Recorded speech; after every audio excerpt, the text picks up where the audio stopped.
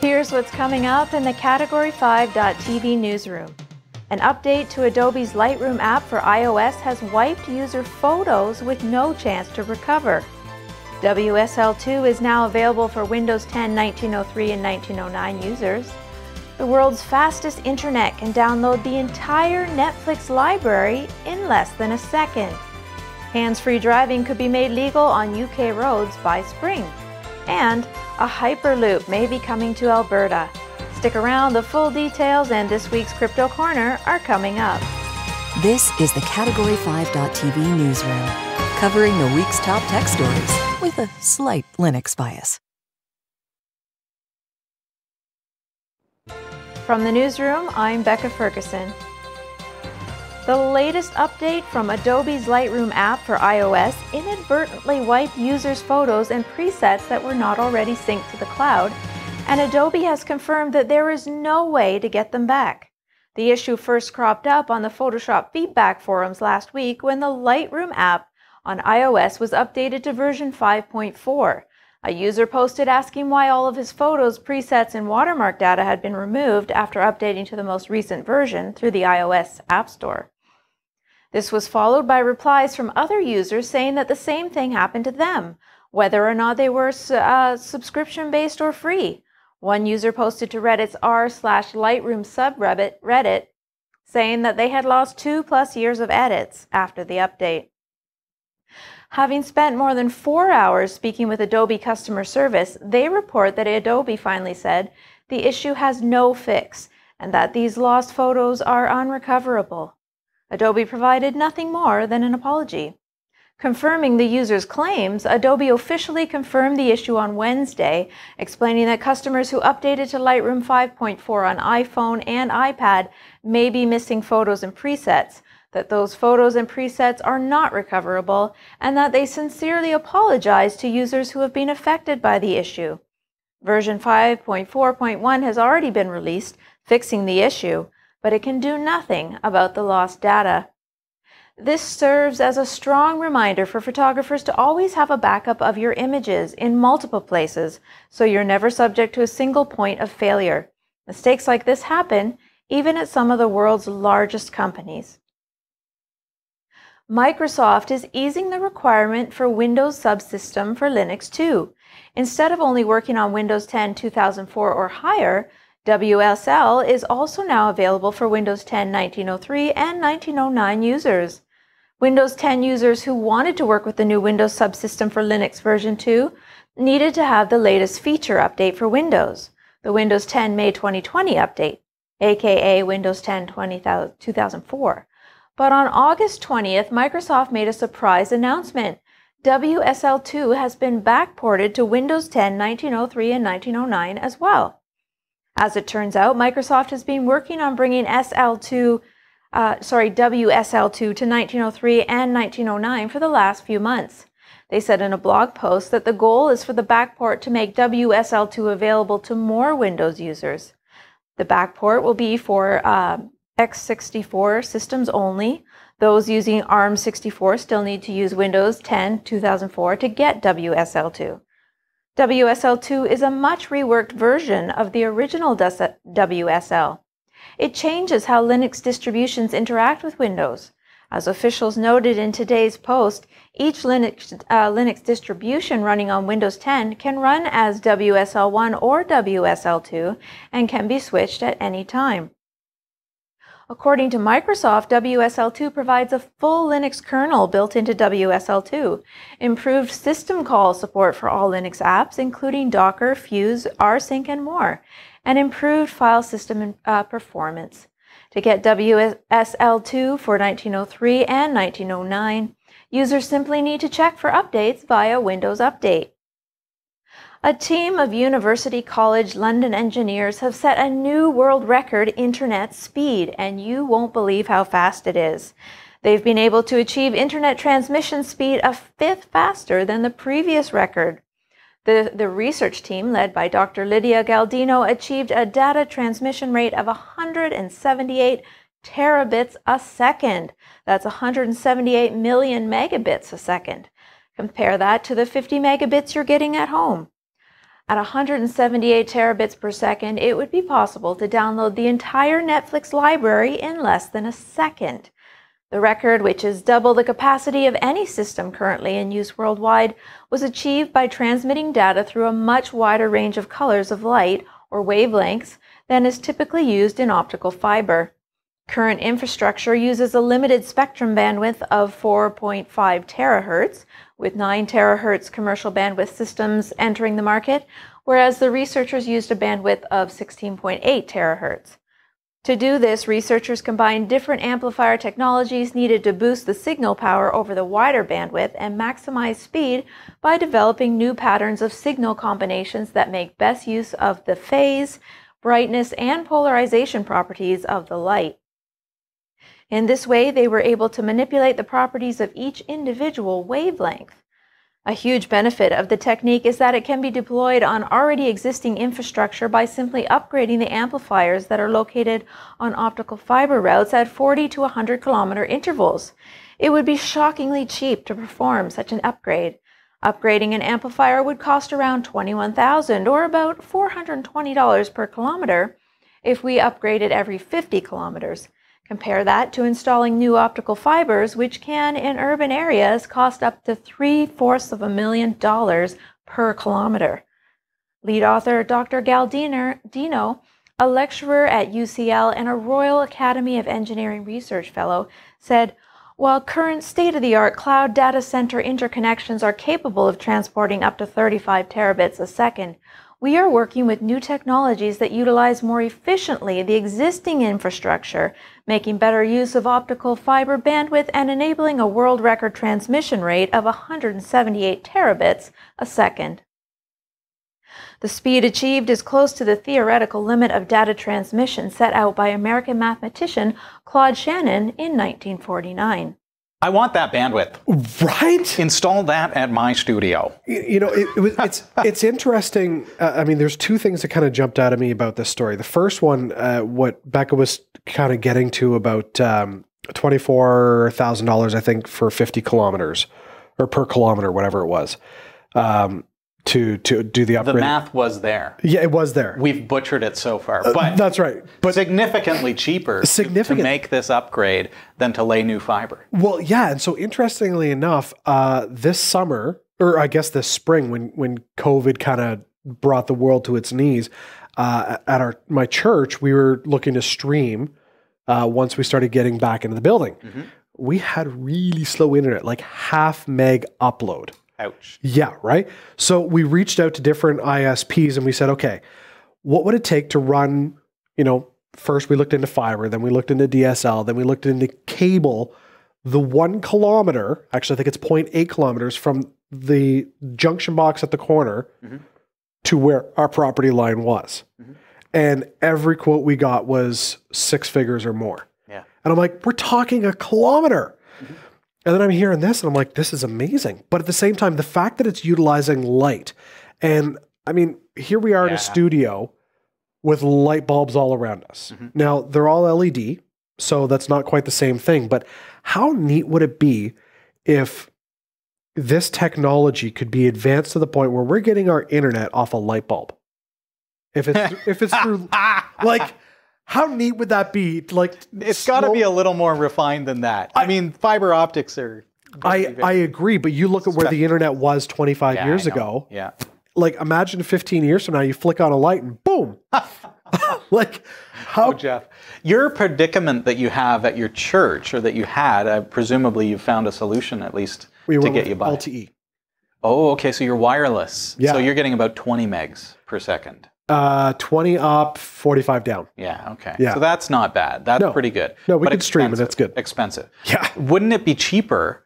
This is just a crazy thought, but buy the property on the corner that's near the junction box. Buy the property and have them run a six foot length from the junction box to a little tiny tower and put a Ubiquiti antenna on that that is pointed at your church that has like airFiber, You know which is like gigabit a second. you know what's funny? We, ha- we actually have our sign there that we rent from the person who owns the property. So put a little Ubiquiti antenna on top of your sign connect it to the fiber, and you'd have to have like some kind of a box that powers everything and, and keeps it secure from. It's, it's got a powered light anyway. well, there you go. So now put it. So then beam that. beam that to your church. You can get gigabit per second internet for the cost of Huh. a six foot length of fiber run. I actually think the box is like a foot from the pole. well, there you go. That's your answer. Where were you six months ago? I don't know. Nobody asked me. I mean, this is just what came to me just now. But hey, lots of more exciting stuff coming up. Hands-free driving could actually be made legal in the UK. I mean, like legit Wow. hands-free driving. Uh, also, speaking of transportation, a hyperloop could be coming to Canada. What? In Alberta. Oh, Becca's got these stories coming up. Plus, Robert's here with the Crypto Corner. Don't go anywhere.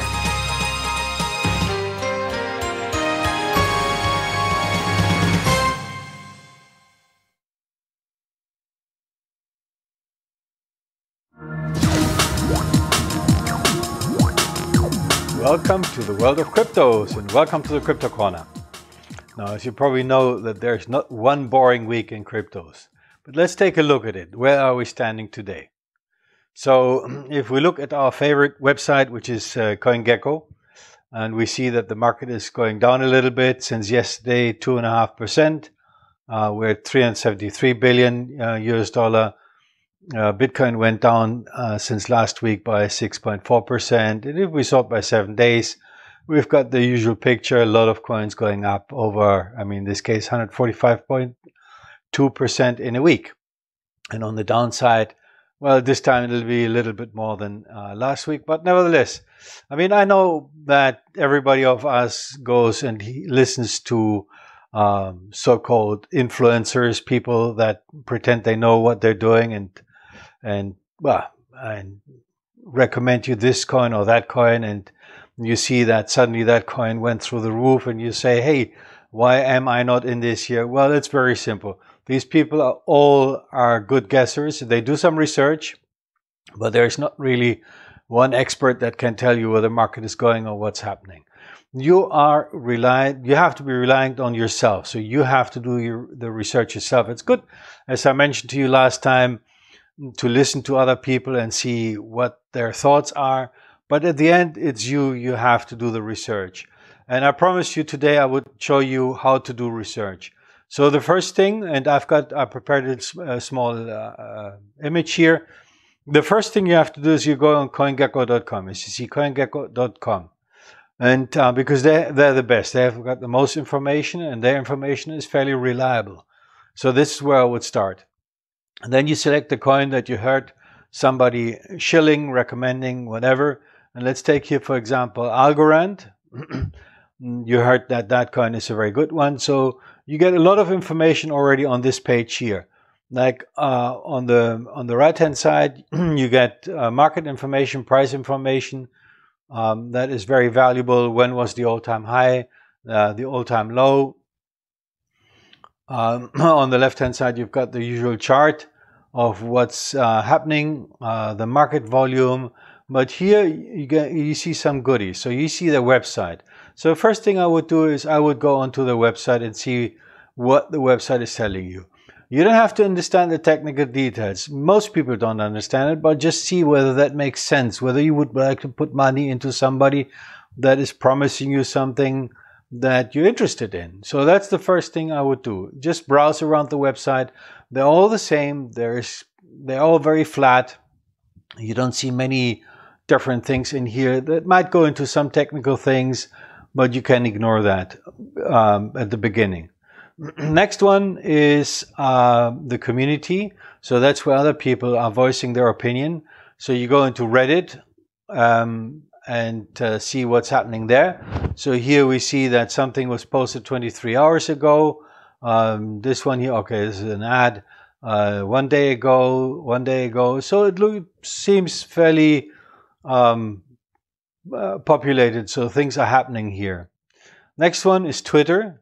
Twitter is the central point of uh, communication in the crypto industry. So Twitter is a must. You have to go in here and just check what the official Algorand team, in this case Algorand, is doing. So, so they published something 18 hours ago. Then here 23 hours ago. then August 22nd, so that's uh, now three days ago. So they're pretty uh, active in the market. Here's an interview. Just listen to what that interview uh, has to, what was discussed in that interview.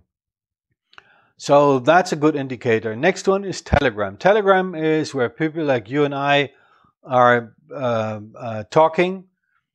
And um, so just open the, download the Telegram Telegram app and um, and just look into what other people are saying. I mean, you see a lot of people in there with some stupid opinions. I mean, you see here in this case there are 9,200 members and 1,281 are online. That's a good indicator. And uh, just just browse to that uh, Telegram. And Discord is similar to Telegram, a little bit more complicated, a little more complex. Last but not least, click on GitHub because that's where you see the programmers uh, working, doing their job. And you see here somebody updated uh, a file one hour ago, 10 hours ago. So you see they are very active also in what they're doing. Now, this will give you the basis of the information on um, on how you can take a decision whether that's a coin that you would like to invest money in. Similar things you do with cars, similar thing you do with a house. You don't buy a house if I tell you you have to go on 43rd Road. You don't go there and just buy a house. You do your research the same way. And so do the th- same thing here. It's very simple. It's much easier than in the traditional stock market. As you can see, there are only a few areas where you can go and really do something. So yeah, that's it from me to this week. So I hope you liked it. I hope you learned something. I wish you another fantastic week and I hope to see you next week again. Thank you. Bye. Thanks, Robert. Just a reminder that we're not providing any financial advice here, just sharing what's happening in the cryptocurrency market. Always remember that the cryptocurrency market is always changing, it's always volatile, uh, so only invest what you can afford to lose. Now back to Becca. Thank you, Robbie. The UK government has said hands free driving could be legal by spring of next year. The Department for Transport has issued a call for evidence into automated lane keeping systems. Such technology controls a car's movements and can keep it in lane for extended periods, although drivers need to be ready to take back control. The Society of Motor Manufacturers and Traders claims it could reduce the number of accidents. The technology for a car to steer itself and stay in lane even around curves already exists in some modern cars, but the law says that drivers must re- remain alert and ready to take over instantly. Tesla's so called autopilot is one well known example. It is considered level 2 on the five defined levels of self driving cars. The next step, level 3, would not need the driver's attention at all times, and in theory, the driver could do other things, such as check email or even watch a movie, until the car prompts them to take over again. Introducing those systems would require changes to current legal framework, something the DFT says it is now considering. While the technology has been approved by the United Nations Economic Commission for Europe, it is limited to traffic jams at speeds of up to 37 miles per hour. The change could give the go ahead for speeds of up to 70 miles per hour in the UK, potentially making long stretches of tedious motorway driving a thing of the past. The UK government wants to hear from people within the motoring industry to decide how to safely implement the technology. The consultation closes on October 27th. The government in Alberta, Canada is backing the development of a high speed Hyperloop between Edmonton and Calgary. Albertans could be among the first Canadians to travel by high speed pods between cities after the government of Alberta signed an agreement with Canadian transportation tech company Transpod to develop and test a high speed Hyperloop between Edmonton and Calgary. Though no financial commitments have been made by the government, Alberta will support Toronto based Transpod by sharing data, identifying land, and participating in discussions with potential investors, according to the news release. The project involves a short term feasibility study ending in 2022, research and development ending in 2024, test track construction and use between 2024 and 2027, and the construction of a line between downtown Edmonton and downtown Calgary to begin in 2025. There are a handful of companies developing this technology, which allows pods to travel at high speeds in a low pressure tube with various projects in the early stages around the world. This would be the first such project in Canada. The vehicles would travel up to 1,000 kilometers per hour with an average speed of between 400 and 600 kilometers per hour. Alberta's Hyperloop line would stop at the Edmonton and Calgary airports, as well as Red Deer, he said, and the total moving time of the full line would be a half hour. The system would be powered by a mix of solar panels and electricity and would mainly transport passengers and time sensitive goods like mail or e commerce products. The 6 billion to $10 billion project would create jobs in a province where many oil and gas workers have lost their jobs in recent years and position Alberta as a potential hub for technology. Big thanks to Roy W. Nash and our community of viewers for submitting stories to us this week. Thanks for watching the Category 5.tv newsroom. Don't forget to like and subscribe for all your tech news with a slight Linux bias. And if you appreciate what we do, become a patron at patreon.com slash category 5. From the Category 5.tv newsroom, I'm Becca Ferguson.